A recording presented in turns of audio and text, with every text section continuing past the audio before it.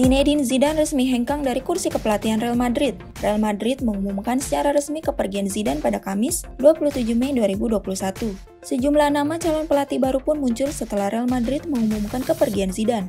Menurut laporan dari media Marca, ada empat nama yang menjadi opsi utama pengganti Zidane di Los Blancos. Yang pertama adalah Raul Gonzalez. Banyak suara di dalam klub yang menginginkan Raul Gonzalez untuk menjadi pelatih.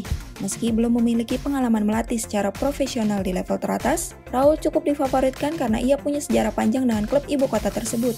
Raul merupakan pemain jebolan Madrid dan meraih banyak prestasi sebagai pemain di sepanjang tahun 1990 hingga tahun 2010. Pengalamannya sebagai pelatih Real Madrid Castilla mungkin akan menjadi pertimbangan bagi dirinya bisa menggantikan Zidane. Selanjutnya ada Massimiliano Allegri. Allegri awalnya jadi nama utama, Salah satunya karena ia kini tak melatih klub mana pun sejak meninggalkan Juventus pada tahun 2019.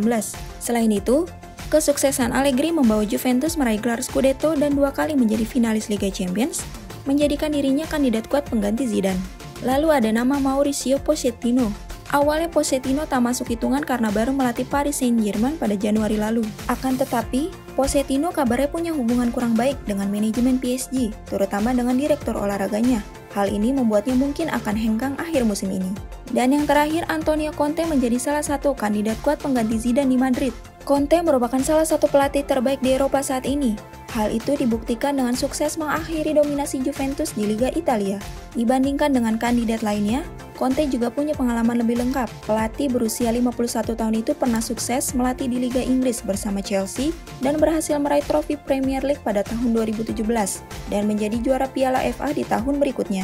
Namun, Conte diragukan bisa bertahan dalam jangka panjang dan membangun warisan di Real Madrid, seperti halnya Zidane.